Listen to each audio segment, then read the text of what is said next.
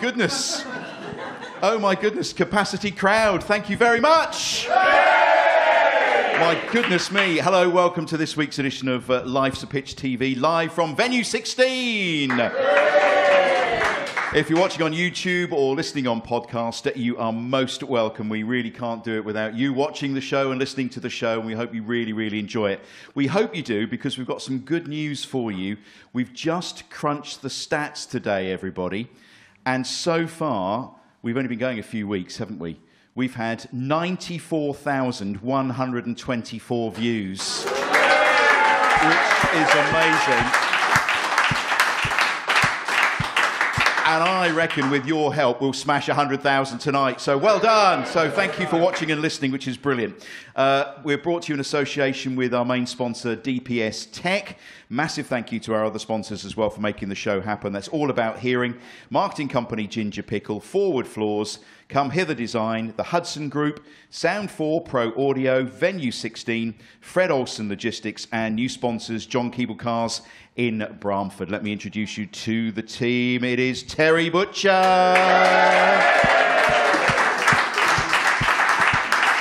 It is Russell Osman.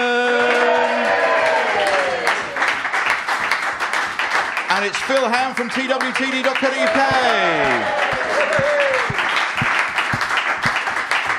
And we've got her up here already. Our special guest this week is the First Lady of Football. It is Dr. Pat Godbold.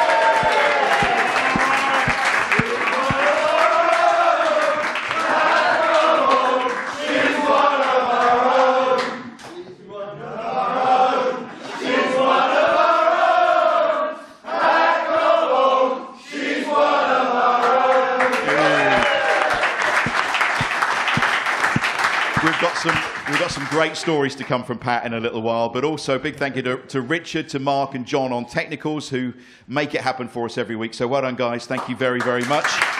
And of course, you, Capacity Crowd. Uh, couldn't do it without you either. Uh, we have got some uh, fantastic uh, stuff coming up very shortly. We've got uh, an opportunity for you to come and join us at Venue 16 on the 30th of November, the big Venue 16 Willow Suite here, when we're going to have a very special edition of uh, Christmas Life's a Pitch TV. We're going to film the show live in front of a big audience. And also, we're going to have dinner, and then we're going to do a question of sport. And you two are the team captains, aren't you? Yes. it says here. Correct. Are you, the, are you, the, question master? I am the question master. Oh, no, I'm here in trouble. Then, I'll tell yeah. you. Yeah, the last time I did some questions for you was at the New Wolsey Theatre last year. Did any of you watch that show? Yeah, Terry's never forgiven me. And you were in it as well, weren't you, Pat? And Russell were there as well. Yeah, yeah. yeah. Grab, grab that microphone, Pat. Microphone, look. Pat. Oh, sorry. Grab your microphone. That's when we played Charlton away, wasn't it? 4 4. 4 4. Remember that, Matt? Yep. It's a year. Next week. How time flies. I know, it really does. Uh, so, so you can book tickets on our website, lifesapitch.tv. There's also merchandise. Some of you have bought some merch tonight, haven't you? Yeah. Clearly not enough. but thank you very much. There's mugs and t-shirts and everything there. Oh, Pat, how lovely to have you on the show this week. Oh, you my goodness. Capacity what crowd. What was it like having a song like that for you? I'm overwhelmed with everything, tell you the truth. When Terry rang last night and said, so, so, so I said, I can't do that, Terry. He said, well, you were okay last year. Uh, so here I am, and uh, hope we're going to have a lovely evening. I can't believe you're all singing for me, but it's um, it's echoing round. I mean, I sing as well at Portman Road, but oh dear, thank you. yeah, you get to you get to loads and loads of games, as many as you can, don't you? What do you think about what's happening at the moment? Because it's happening to us, everybody, at the moment, isn't it? It's, it's happening to us, Pat. I'm not getting too excited. and I was telling Terry on the way here, we had a young boy in Ipswich boy as an apprentice way back in the 50s called Robin Baldry. And uh, he didn't make it. He was an apprentice, but he went on somewhere else. I think he's living in the Midlands, somewhere near where Russell comes from now. And uh, he wrote us, or to me really, an email at the end of the season. He was at the reunion last year, you probably saw him. And uh, he was overwhelmed with the town and everything, and he's put money on us to go up straight away. Fair play. I don't know what the odds were, but well, course, I can remember. I can remember our very first Life's a Pitch show when we talked about predictions for the season ahead, and and I said we will go up top two, and there was a lot of like, well, I'm not really sure about that. Really sure about that. Who's laughing now, boys? I know there's a long way to go. Long way to go. I know. I know. I keep saying that. It's great though, isn't it? Isn't it just fantastic? We love it.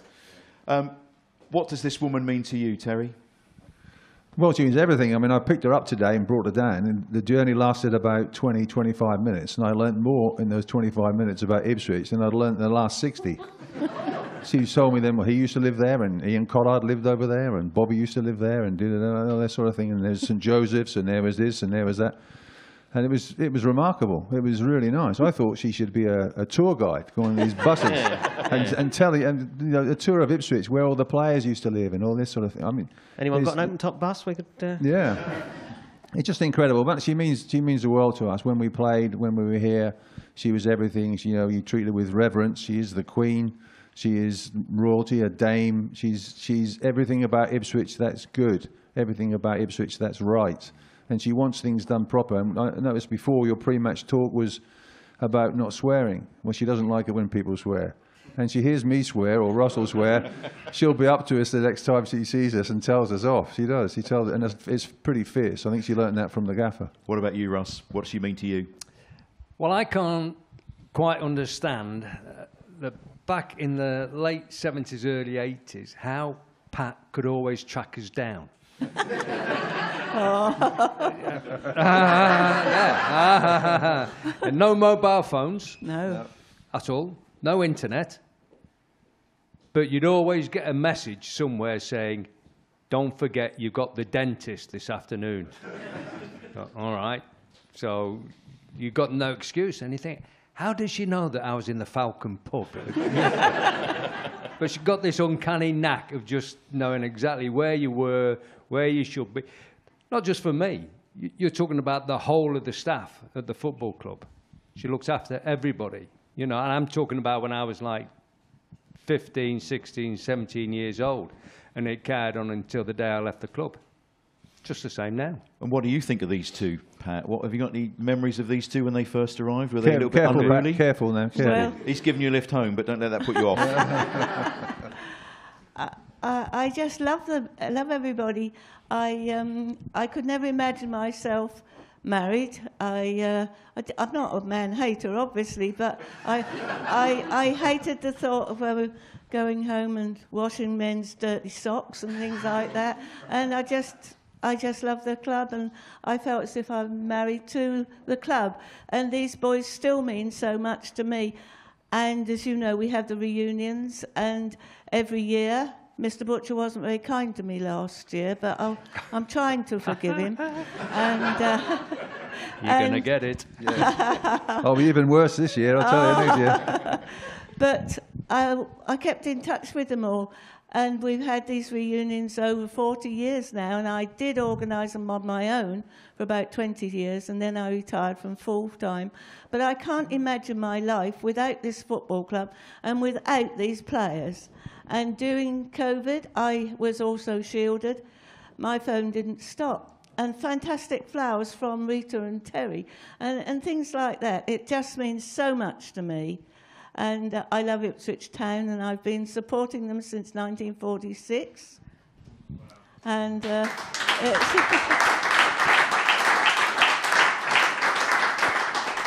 I, I, am excited in a way about now. We've just been talking about the new manager. Oh, he, I get on very well with him, but don't see much of them because they're training at the training ground, and I only work will actually work properly on one morning a week, although I'm volunteering, and some of you are here now, which I saw yesterday at the various cafe uh, we have at the club now. I just can't keep myself away. Um, I think, um, well, I did say after I uh, came out of shielding to the company secretary, now what would you like me to do with working? He said, you come what you like, when you like, you do what you like and you go home what you like. At 86, that wasn't bad, was it? That's but, fantastic. Mark, Mark, remember. when we were when we were young, and, and I was courting, I got married before Russell. Uh, I always remember Pat saying, you know, after, when we got married, um, what dinner service would you like? I says, what do you mean, what dinner service? That was normally on the wedding gifts. But she organised a dinner service in, in Bone China for us as a, as a wedding present from the football club, and she did that. So, you know, you, you, little things like that, he's, he's just, just remarkable, really is so many comments that I've had in on our socials, social media about you. Some lovely, lovely comments, and people saying just how thoughtful you are. And, and I've had phone calls from you. Even I'm not an ex-player. I've had phone calls from you asking how am I. And so you really do care about these people. You care about the club and the people that you meet. I care about well, I, I, have never married. I've got a fantastic brother with a lovely family, and I had a fantastic mother. And it's through my father, actually, that I started watching the town. And uh, Mummy always said, do what your best, do your best whenever you can. And if you go shopping for the old lady up the road, you don't take anything for it. You're doing it because you wanted to help her. And I've tried all my life to help everybody and I thoroughly enjoyed it. And I'm 88 now, and I'm hoping, uh, and I've been here 69 years working. I hope I might get 70 to do 70 years working here. I think there's many, many more years to come from you, know. Pat. Let's but, take you, uh, let me take you back though. When you, what was your first job at Ipswich Town, and, and can you remember your first day? Yes, I had worked for Revels four years before, and uh, it's a long story how I got the job. I'm still in the guides, and uh, uh, I, I, was saying uh, we are oldies, senior guides now. I joined when I was seven, and I went to Switzerland in our chalet um, uh, in 1957 or something. And a friend of mine worked at Lloyd's Bank, and we had just won the third division South. And Scott Duncan, the old boy, was the manager, and the directors thought it was time that he had somebody to help him with his paperwork, etc. But he didn't want to advertise the job. He didn't know what sort of lady or person would apply. And he went to Lloyd's Bank manager who was friendly with, and he told him, he said, if you hear of anybody, he said, must be a shorthand typist to help me. And so the manager spoke to the ladies there. You girls are always moaning about working here. Scott Duncan's looking for a secretary at Portman Road. Must be interested in football, obviously, and a shorthand typist. Well, I'd been talking to my friends in Adelboden, and she told him, and that's how I got the job. But um, I went for an interview, at the office, but it was a Nissen hut during the war, and it was all we had to put um, dishes and plates and things, cups, to catch the drips coming through the, the ceiling. Anyway, I had the interview. He actually dictated a letter to me ordering a set of goal nets from Harrods of Lowestoft. And we still use them actually, and they've been used in World Cup, so Lowestoft is on the map there. And then he said, I must speak to the chairman, who was uh, Alastair Cobbold, the older one, but not as eccentric as Mr. John was. I'll tell you about him sometime later. um, but uh, he said, We'll be in touch. And he invited me back. I was working at Revels for four years, five shillings increase each of the four years and uh, I was then earning 27 and 6 when I went there. Anyway, when Scott sent the letter, I was offered £4.50 in the week. I thought, golly, my goodness, I'm in clover here. And he said, Welcome to Portman Road. I hope you're going to be very happy. Watch out for the married ones, they're the worst.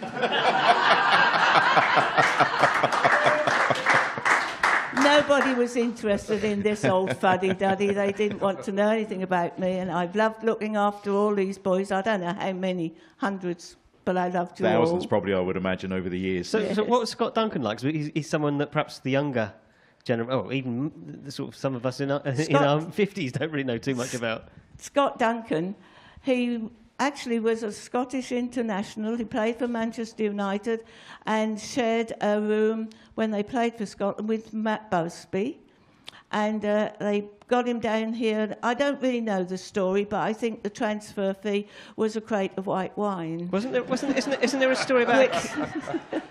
isn't there a story about a kidnap or something like that around that? Well, I don't know anything about kidnaps.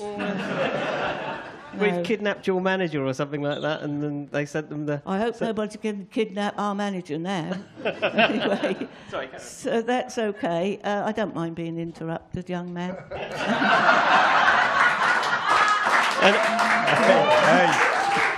I, I don't mind being called young man these days. well, everybody's younger than me. Oh dear, I don't know. I ramp on. I talk too much. No, I'm not at all. You keep going. We're in for the night, aren't we, everybody? yeah. Check, check the last bus. Oh. Um, so, so, who was next then on the uh, on the managerial line? uh, Alf Ramsey. Sky, we, we were relegated, you see, the first year. And I thought they'd get rid of me now, we're relegated. And uh, Alf had not managed anywhere, had he? And uh, he was with Tottenham, and they were actually, I think, co- coaching or something out in South Africa. And uh, he, he came down, and obviously uh, he was the man for the job. And fantastic man, but I didn't get to know him. He was a very, very personal man. Whole family, I didn't really get to know him. But uh, he knew football, inside and out. But Mr. John didn't know anything about football, so they got on okay together. I've got one or two stories. I don't really know where to start. But oh, well, you can you just on. carry on. No, no, I'm going to Carry sit back on. and listen, uh, Pat. I'm going to sit back and listen like everybody else. I mean, the, the the Ramsey era was a fantastic era, though, wasn't it? I mean, success came to the club, didn't it, like never before? Yes, the only uh, the only um, club to have won the top division at the first attempt.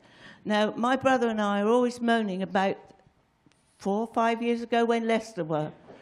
And Leicester, they reckon, had never done anything like it before. We had never, ever played in the top division.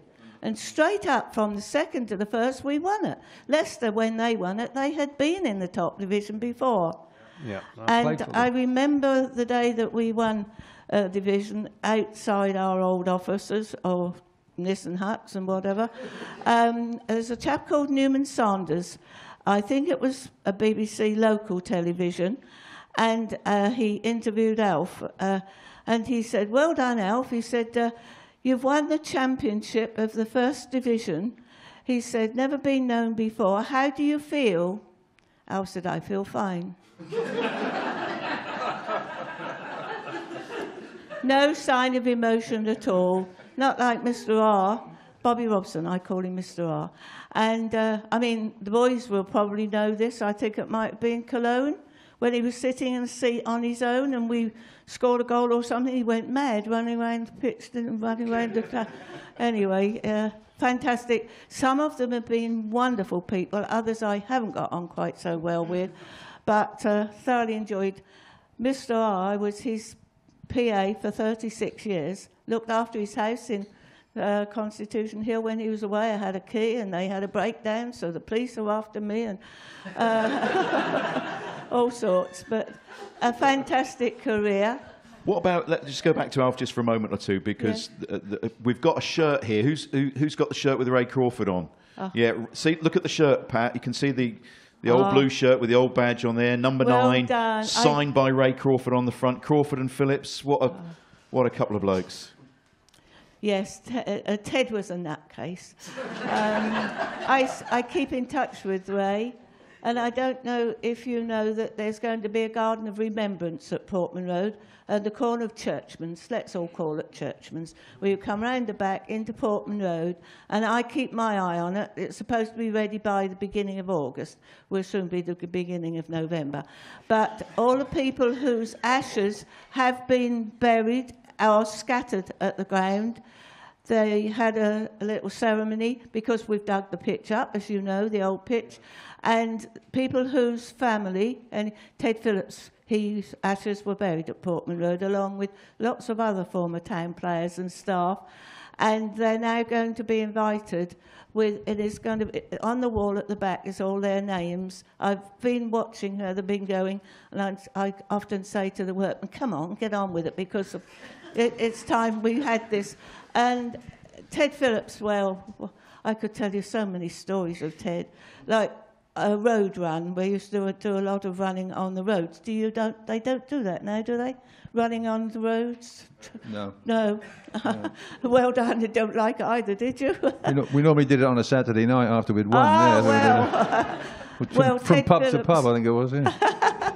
Ted Phillips, one day, he got a lift on the back of a lorry. and they used to run up Chevalier Street, or you call it Chevalier. And some of the houses, they come right onto the pavement. And the milkman would leave the bottles of glass bottles of milk. You know what I'm going to say? Ted would take one, and on his way, he was a right nutcase. And the things he would in Alf's day, I don't think they do it now, but on a Friday morning, if we're playing on a Saturday, Alf did not let them have a football to train with. They didn't have a football.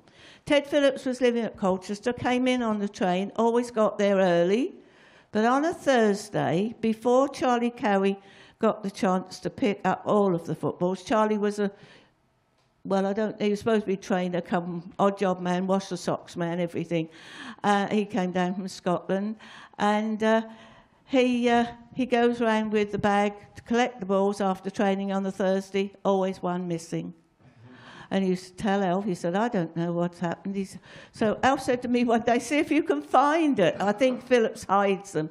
Up the floodlight towers, behind our office in the coke, where the coke was used to boil the water for the showers and everything.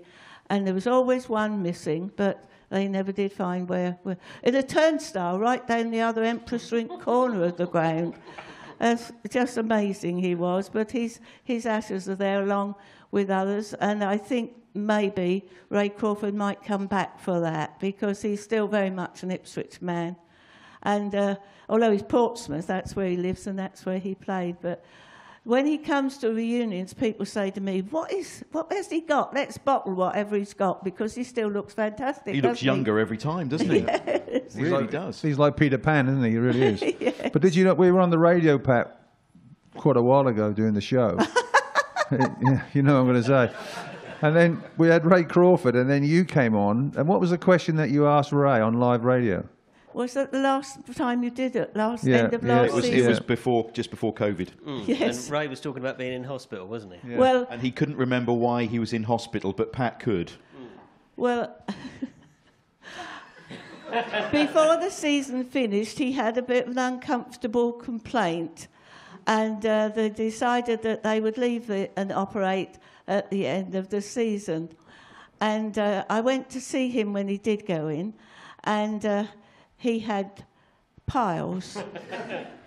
and he was in the ears, nose, and throat ward. Of course, of course, yes. It went up a long way then. he hoped they'd find him the, the right knife, whatever. oh dear. That was a funny moment. That really was a funny Yeah. moment. And uh, yeah, love that. Um, let me bring you two in because let, let's talk about the Robson era. And of course, no, no better people to ask and talk to Pat about those, those times. So I'm going to throw it over to you guys now for a bit. Our life with Mr. Robson. Well, he was. He made life, life very easy for us because all he wanted us to do was go out and play football and behave and tuck his shirt in.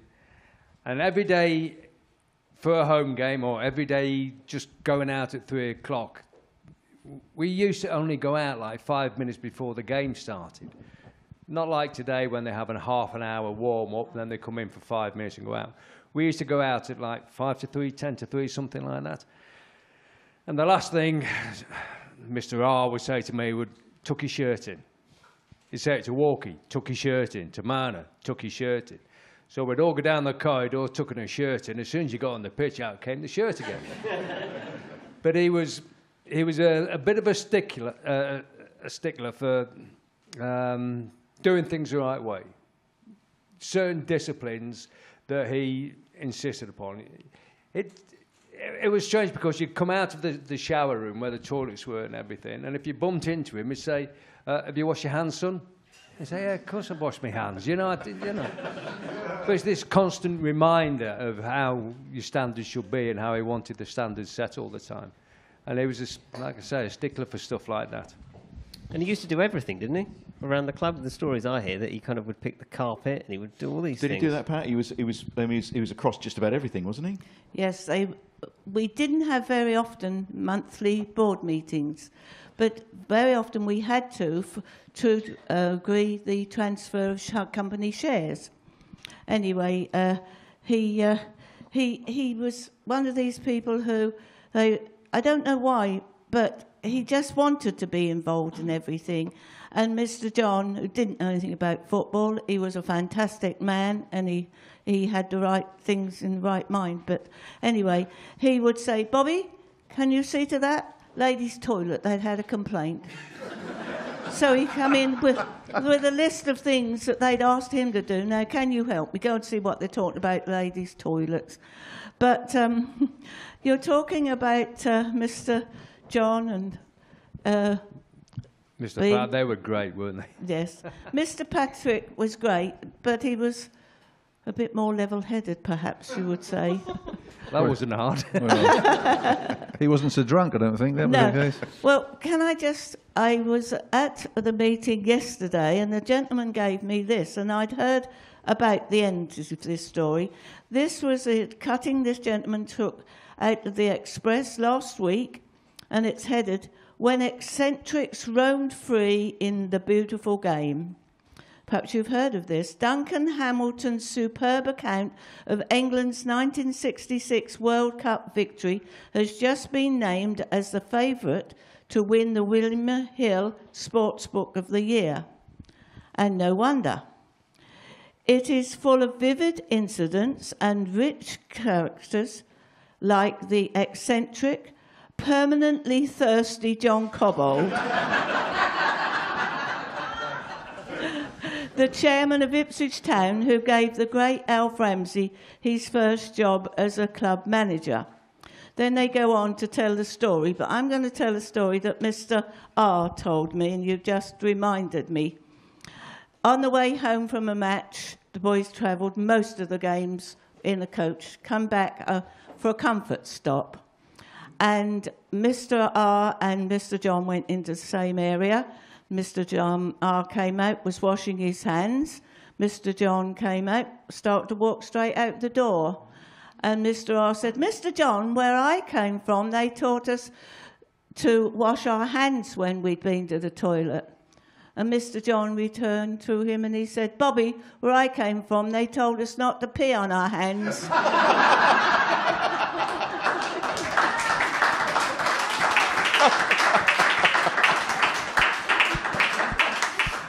Oh, my goodness me.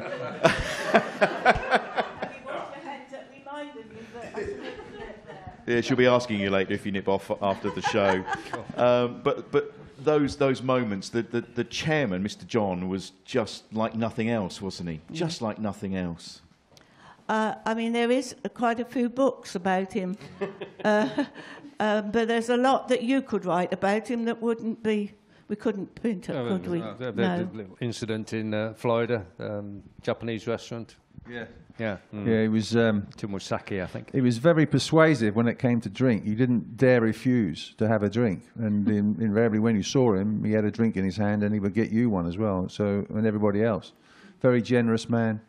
Um, the, the gaffer Bobby, you know, they, they, they worked well together, didn't they? So they understood each other very well, I and think one Mr. the- Pat as well. Sorry, I think one of the great things about the board of directors at that time was that whether you were playing for the youth team on a Saturday morning and travelling away, or whether you were playing for the reserves and travelling to an away game, there was always at least one director on the coach with the coach who's in charge of that squad. So if you're going up to the Midlands, if you're going up to Manchester for a reserve team game, or you're going into London and play Chelsea in the reserves, it'd be Mr. John, Mr. Pat, Mr. Smith, Murray Sangster, Mr. Kerr. At least one of them would travel with the reserves all the time. Super support. So they, so they knew what they were doing. They were, you know, they were, you know, the head of a very successful club, weren't they? They knew what they were doing, keeping, you know, Bobby Robson on board for And as long free as they drink possibly as well, could. Yeah, I wasn't didn't, I didn't think they knew what they were doing when we went into Europe because you never saw them, and they, if you did see them, they were lying on the floor, things like this. I I mean, they really enjoyed themselves, and I think one director actually missed the game because he was he was Mr. drunk. Mr. Kerr, yeah, he was drunk. he- Alle- allegedly, if she allegedly. I remember a great story about Mr. John, and, and I think Mr. John got there to the hotel with the players, and they're all checking in, and the press used to travel with us at the same time on the same plane. So all the press boys, they were a bit boozy. They like to go straight into the bar and have a few drinks. Our directors went and had a few drinks in there. But Mr. John hadn't been in the bar for a while, and he came down later on, about an hour, hour and a half later. And one of the press lads said to him, Where have you been, Mr. John? We've been having a great time here. We've, we've had plenty to drink. It's going great. Mr. John said, Dear boy, I have been in my room and I, I have drunk my fridge half dry already. so kind of, well, why only half, Mr. John? He says, Well, I don't like minerals, do I? Well, if you think about it, Mr. D- Mr. John owned a brewery, so you know if you you were in insurance, you went round to encourage people to take out their car insurance with you. So Mr. John, oh, well, he was, you know, advertising his wares. Yeah, of course he was. He did a damn good job of it. Didn't he But used to? Didn't was- he used to host parties and stuff at Ah. his place? Yeah, we can't remember them, but they were good parties. when there yeah. were donkeys, weren't there? Oh, shall I tell you about? Tell us about the donkeys. Yeah. Well, Mr. John had a fantastic house with acres, 20,000 acres of land down at Trimley. Although Trimley was on the right-hand side of the main go- road going down to Felixstowe, Capel Hall, Trimley, was Mr. John's home. It belonged to the Cobbolds way back 1780s, Thomas Cobbold, and it went down. Mr. John was never married, but um, that's another story. And uh, uh, he lived he lived there. He lived there alone. Anyway, uh, he um, came into the office one day, um, and he'd got two donkeys. And he said, "What do you think? Uh, I've got two donkeys. Uh, I called them Alka and Seltzer." because he more or less lived on Alka Seltzer as well as his drink. So then he was excited one day and he said, Pat, Pat, he said, my donkeys have had a, a baby foal. He said, Do you know what I called it? I said, Knowing you, Mr. John, it could have been anything. He said, I've called it Burp.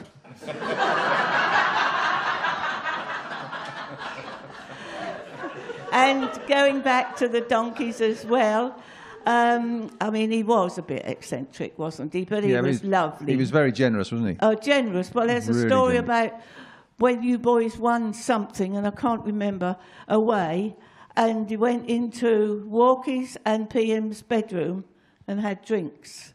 And they went down in the morning, and, uh, oh dear, got paid this drinks bill. Oh, good heavens, however much is it? well, I've got a tenner, I've got a fiver, what shall we do? Mr. John came along and he said, uh, What's the matter, boys? Well, Mr. John, we had a bit of a party in our room last night. Several of the boys came, and we're just looking at the bill. He said, "Don't worry, I'll pay it." Yeah. Just like good. that. That was that was the PFA awards when we, we scooped the first three positions, I think, for the PFA, players. was it? Yes. Yeah, mhm, yeah. It was, yes. um, what was it? The Hilton Park Lane or something like Yes. that. Yeah. Quiet night, that, wasn't it? We, we, we were in the room next door. Yeah, it was very good. There's another story about the donkeys.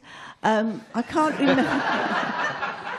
I can't remember where we were playing. Manchester United away, and I used to go to some of the away matches. And that was a time when Leeds United and West Ham supporters were not too good. Anyway, we got a bad name in England for uh, supporters away, but the, uh, somebody said, Well, I don't know, this Ipswich town, they're doing well. You don't hear of them with any problems.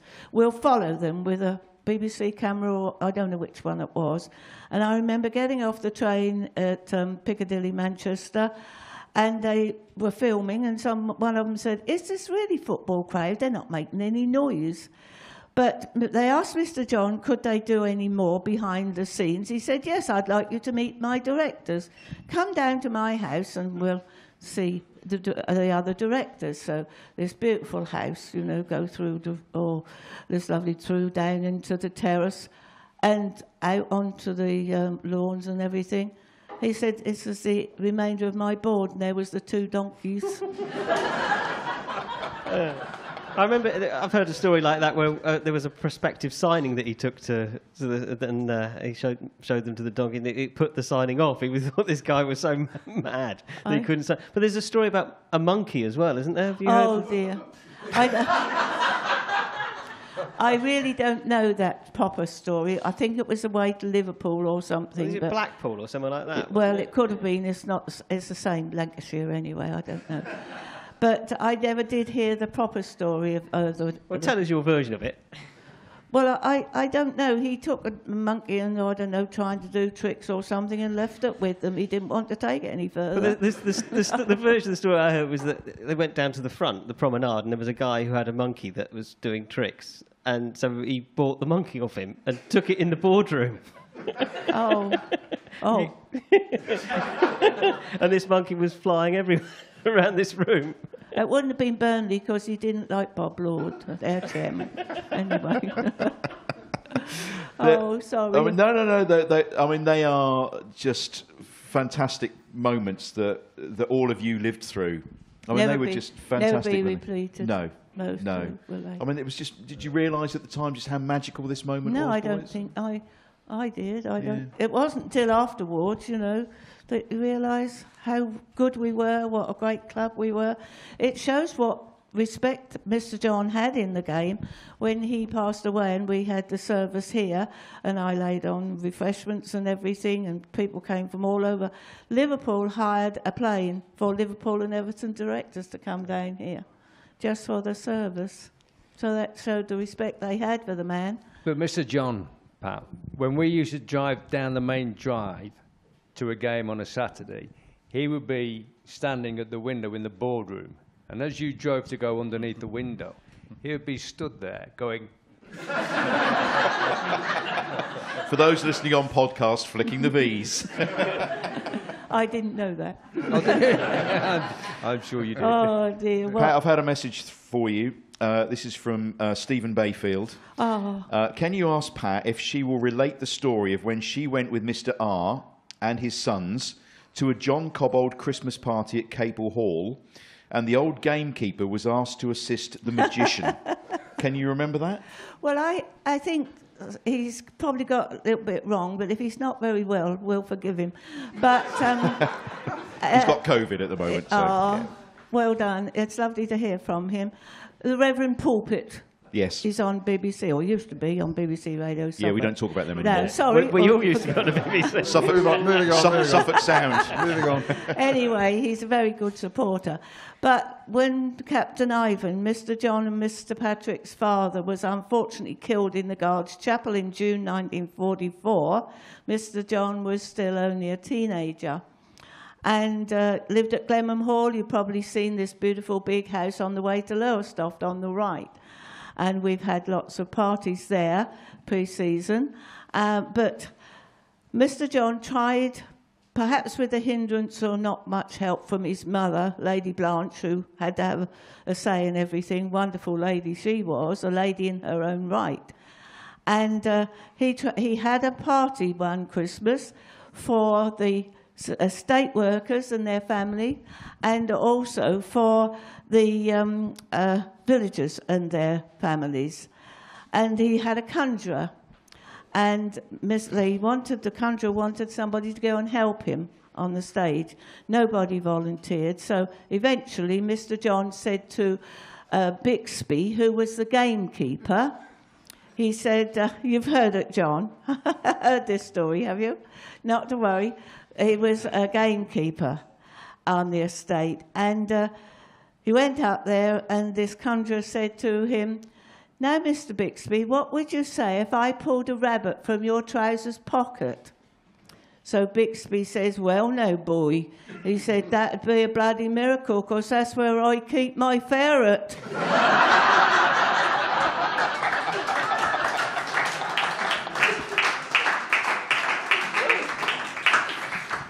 Oh my goodness me. Realise- I'm sorry, I didn't realise people were listening to us. Yeah, yeah, yeah. Yeah, listening and watching. Yeah. No. Yeah, you want a camera over there, look. oh! I got, thinking, what's the moon doing up there? Lovely. That's lighting especially for us, Pat. Um, look, we're going to come back and talk some more in a moment or two because Oh, you've got pity. some wonderful stories. But uh, for, for now, Pat Godbold, everybody.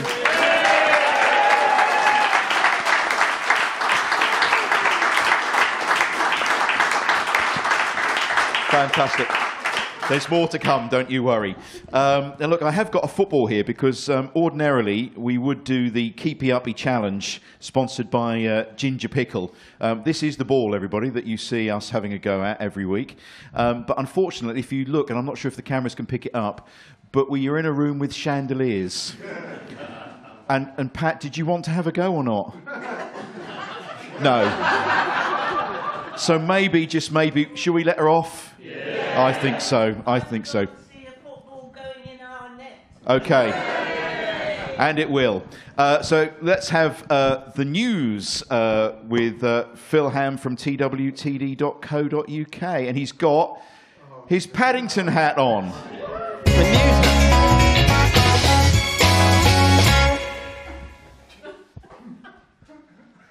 My news hat.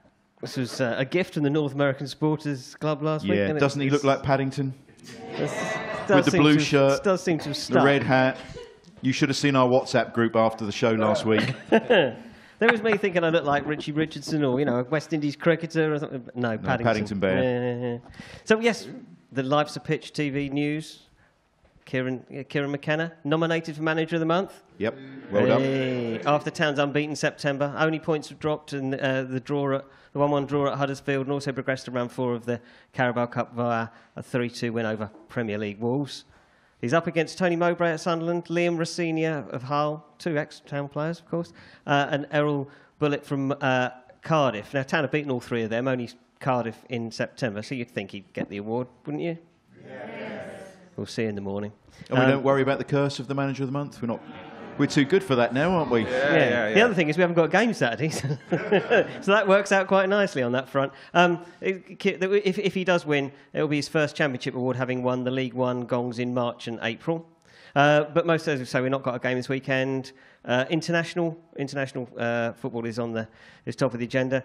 Uh, Wes Burns and Nathan Broadhead last night were in action for Wales and had contrasting fortunes uh, during their 4 0 victory over Gibraltar. Uh, Nathan Broadhead scored his second international goal, but Wes Burns fell awkwardly on his left shoulder and was subbed in the 15th minute. Bit of a worry for everyone, really, isn't it? I think um, maybe a collarbone injury, maybe a dislocation. He's back at town for assessment, but hopefully good news. Um, it's the second Wales game that Wes Burns has suffered a, an injury, which is frustrating. He came back last time with a hamstring problem, so uh, his international career is not helping town at the moment. So hopefully that's nothing too serious. Various other players have won caps. Elkan Baggott this afternoon for Indonesia won 6 0 against Brunei. Um, young keeper Woody Williamson was with Scotland's under 19s.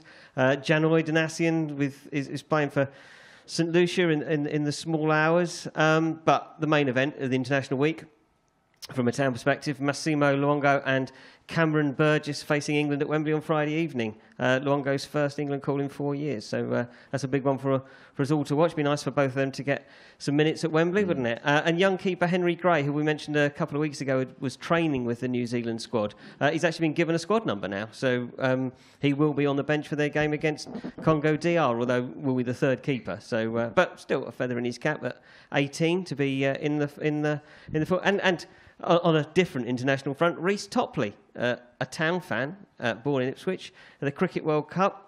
I tweeted a photo this afternoon of a town fan at the Australia South Africa match this afternoon, looking. Uh, he looked like an Australian because of his reaction to an Aus- Aussie dropping a catch, but apparently one of his mates then tweeted, "Well, actually, he's from Essex and is an England fan, so I don't know why he was getting so uh, upset about that." But um, Reece Topley's a town fan. I don't know this is widely known. Um, but took 4 for 43 in England's 137 run victory over Bangladesh on Tuesday. So hats off to him for that, and hopefully he can keep England going. Brilliant. There Brilliant. endeth the news. That's the news brought to you Off comes the hat.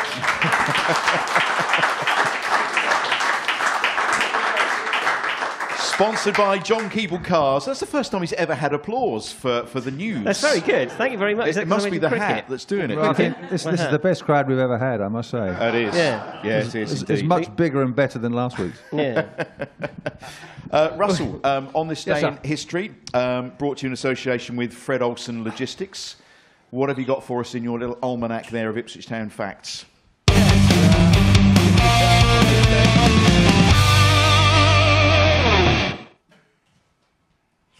Yes, Ipswich Town on this day, the history, facts and figures. Um, it's been quite good actually because every show we've done has coincided with it being an interesting stat. Well, it's quite a thick book, so there's every chance, it is really, a bit, isn't it? Yeah. isn't it? Wednesday, the 12th of October, 1977. England beat Luxembourg 2 0 in Luxembourg in a World Cup qualifier. It was the ninth and final cap that Mr. Beattie oh. made. Mm. Sad. Should have had more, shouldn't he? Should he have had more? He really should have had more England He caps. should have had a lot Yeah, more. A lot, Yeah. a lot more. And the goal scorer that night was Paul Mariner. So, great player. Two lads that we'll miss for, for a long time. Also, on Wednesday, the 12th of October 1994, Town beat Ipswich Wanderers 7 3 at Humber Doucy Lane. Not quite a classic. That was to celebrate the opening of the home team's floodlights. Chris Kiwomya scored four goals in front of 600 fans. And that all happened on this day, on the 12th of October. Fantastic, fan- fantastic stuff. Brought to you in association with Fred Olsen Logistics. Now, Pat, time for some more for you now. We've got some questions for you. Um, this is. Uh, sorry. I thought I'd give you, Sorry, sorry, no, I wasn't. give you a little. She, she was listening to your every word. She was just resting her eyes. Well, I must, I must say, by her reaction and her memory, there must be something in that coffee she had before the show. So, if you do Well- want a, if you do want a cushion or a pillow, we'll get you one, Pat. It's no problem. Okay. That was a lovely cup of coffee. Who made it for you? This has Thank come you. through. Um, great guest, such a lovely lady. ITFC through and through. Knew my mum, nan, and granddad from the Bobby Robson days when you could travel on the team bus and fly to the European Games. Uh, she helped sign a commemorative book on his 80th birthday. Nothing was ever too much trouble. So again, um, someone remembering your your thoughtfulness really.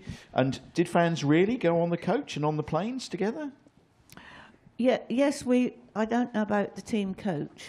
No, I only went on the team coach once when I went to um, Norwich. Uh, but they were very kind. It was um, Anglia Television to show our cup final again. I think, and I went then. But though the fans didn't go on our coach, but to help us to pay for the aircraft, when we did go uh, fly away anywhere, we did have fans go, and whatever they paid helped towards that. So we had people like Trevor Lucas from the Old Copdock Hotel. I don't know if anybody knew him, and friends of the Charlie Manning. Who knew Yep, Charlie Manning from Charlie. the amusement park down at Felixstowe? Oh, he was a he was a character, wasn't he? Did you have a suitcase, or he had a suitcase and you signed it? A tiny suitcase with just his pajamas in. And then when they were away and it was very cold, he would wear his pajamas and put his trousers over the top to keep warm at the matches. On top of his long I johns. didn't see him, but yes. This is fabulous. This is a brilliant question that's come in here. Um, you are an Ipswich Town living legend, but which actor would you like to play the part of Pat Godbold in the 2030 film covering the history of ITFC and their return to European trophy winners? so, who would you like to play you in a, in a film about Ipswich Town, Pat? I don't know any other ac- actresses. I don't, I don't follow films and things. Who would I? Oh, I don't know. Um, Helen Mirren, Yeah. Oh, yes, Yeah, yes. good Dame, call, Dame Butch. Judi Dench, Good call. Oh. Yeah. Mm-hmm. yeah. Well, I, I Lady Gaga. not Lady Godiva. oh, I don't really know. That's for somebody else to say, surely. What, what would you have, Mark? What actor would you have your role? Me? Yeah, Oh, my goodness me. Mr. Tumble. yeah. I was going to say Humpty Dumpty or something like that. All right. got, got And you. Russ? Who would you? Don't get me involved in that. Russ, Film star already played himself. Yeah, well, I was going to Yeah, say, you yeah, play yeah, yourself. yeah, what yeah. about Phil Ham? Yeah, Who would Phil play Ham? Phil Ham in a It's film? going to be Telly Savalas, presumably. Paddington Savalas. Bear. Yul Brynner. Yul Brynner, Telly Savalas. I was. I, I, I'm left out here. I was uh, Liam Neeson would play me. All right, Who's okay. Yeah, because I could shoot people. That'd be lovely. Don't look at me when you say that. I get a No, bit no. worried. I once thought Bobby Ferguson used to have a used to pull me do pull me out and say, you know, was the journey down good and all that sort of thing. And he said, what you know, what would you really like to do? You know, if you could, what would you really like to do and, and get away with it? I said, I'd like to stick an axe in someone's back. But during a He- game, well, he, he that's never, the ultimate tackle from behind. yeah, he, he never asked me again. Funnily.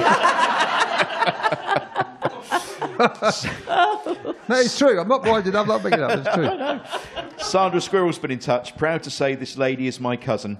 She is like a stick of rock with Ipswich running right through, blue and white. She, it, oh. Sandra. Sandra Oh, Squirrel. Sandra. Yeah. Yeah. Oh, hello, Sandra and Yeah. Gary. Hope you're all well. Yeah. Oh, well done. You don't get this on national podcast, do you? She li- they live in Stowmarket, you know. Right. Old country. Stowmarket. Yes. Uh, yes. Glenda Price as well, uh, cousin Pat, as Yeah. my mum always used to call her. Heard her often on the radio. Her stories of ITFC are brilliant. Um, and do you have any other little anecdotes or stories that you would like to bring to us before we start to wrap up this evening's proceedings, Pat? Over Oh, the so many years that you've been at Ipswich Town. 69 seasons. Wow. I, I, I just can't think of anything really, but hope that the town continue to do well. And um, I don't think the boys know this, but I've got something that they haven't got football memory football. You know, last May, fortunately, we were only runners up, but that was great. We got into the championship, and all the players were given a medal. And I've had one. Brilliant. Okay.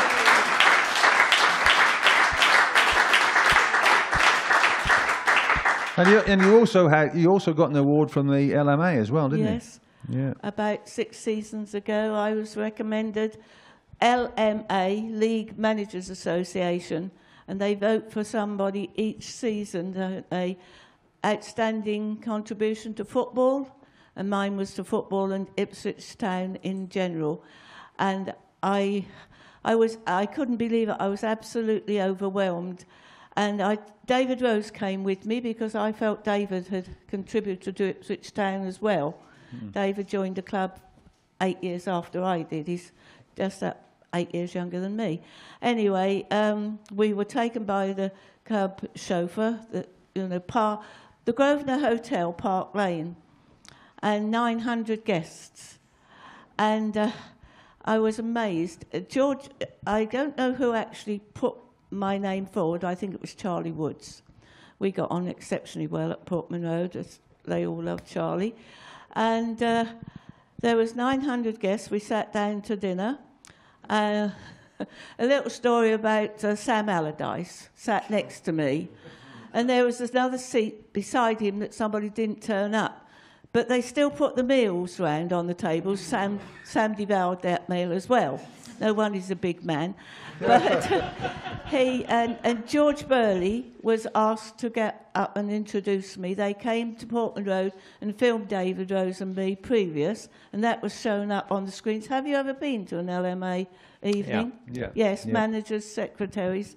I used to go with them years ago to the Royal Lancaster, um, but uh, this particular night, Sam said to me, Pat, when you go to make your speech, he said, say something about the Cobbolds.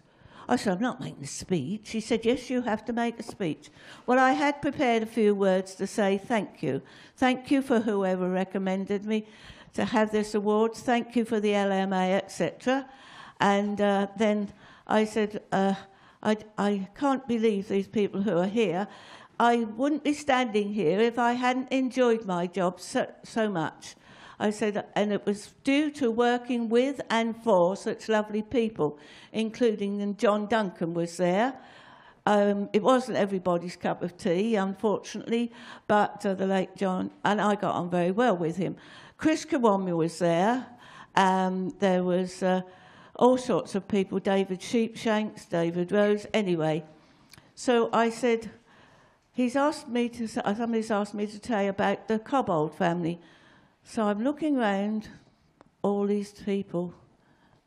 Can you come back next week? I'll have more time to tell you stories about the Cobbold family. but there is one little story I said I must tell you about Lady Blanche Cobbold. She is a lady in her own right, the daughter of the du- ninth Duke and Duchess of uh, Devonshire from Chatsworth House. You probably know it well. And uh, uh, she was at the FA Cup final when Ipswich Town beat the Arsenal, and there were some cheers or some boos went up from the crowd.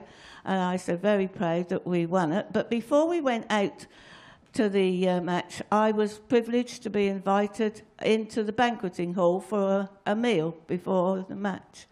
And after the meal, somebody asked her ladyship if she would like to meet the Prime Minister.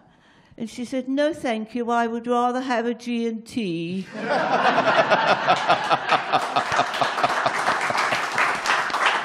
Pat Cobbold, everybody!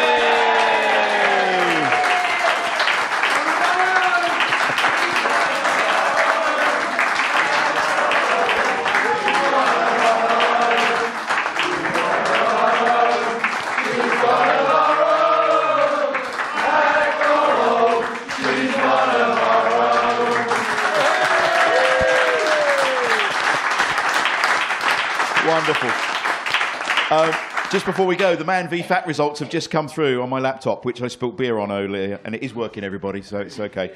Uh, Man v Fat results uh, this week Pork Vale 7, to lose a few pounds 8, Far from Athletic 6, Man Titty 3.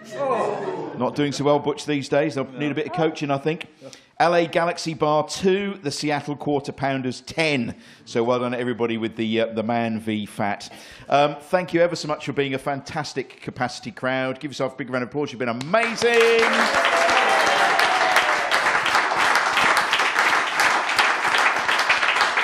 Next week, next week we'll be back in our usual Life's a Pitch studio. To keep in touch, check out our socials, Facebook, Insta and Twitter or X. On YouTube, please, if you're watching on YouTube, like and subscribe. Hit those buttons for us. Help us keep the show going.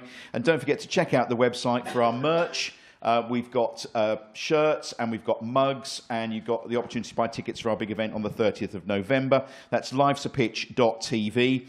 Uh, and just before we go, and I thank our sponsors, we have something very special for you, Pat, which is just about to come onto set now. Um, this is going to be passed along from Phil to Russell to Pat, and it's a token of our appreciation for coming and joining us here tonight. Lovely bunch of flowers for you.